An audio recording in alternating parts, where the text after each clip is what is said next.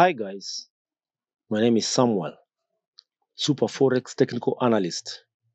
Today we shall be looking at US 30 or Dow Jones Index on the 4 hours time frame. And we shall be using a couple of indicators to attempt to determine the entry point. First and foremost, let's, let's draw the support and resistance levels.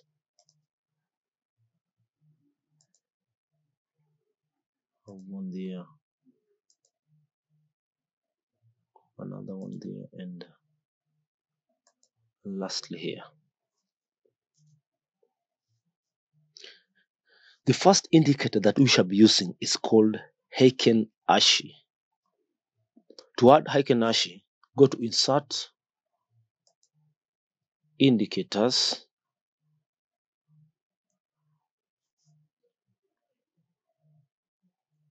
Custom, then Heiken ash. Leave everything as it is.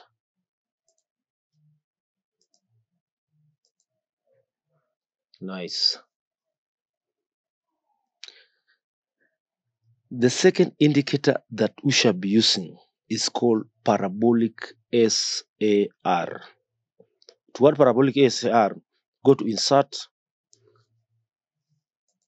Indicators, Trend, then you will be able to see parabolic SAR.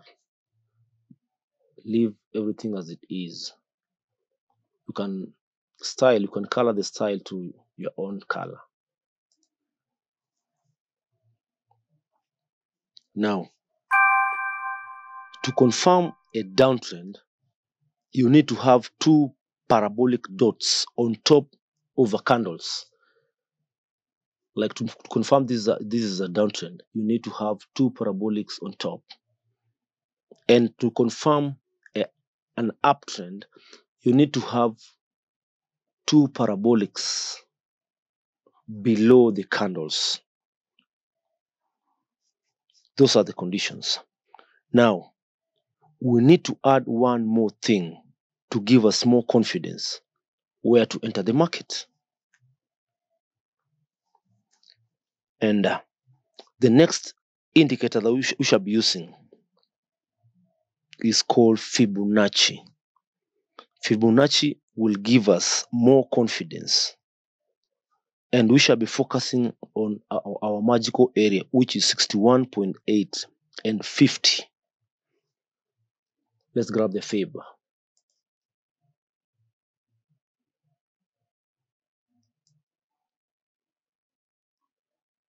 place it below the swing low and the swing high.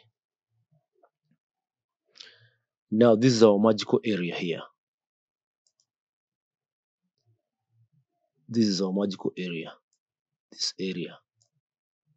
61.8 and 50 this is our magical area. Now we need to wait for the market to make a u-turn on our magical area. Then we look for two dots below. The market made a u-turn on our magical area here. Then we need to, to look for two dots. We have one and two. You can see we have the two dots. Now now we can confirm that this is an uptrend the market will still rise. This is a very very good confirmation because the market made a u-turn on our on our magical area which is also a support level. You can see we have a support level here.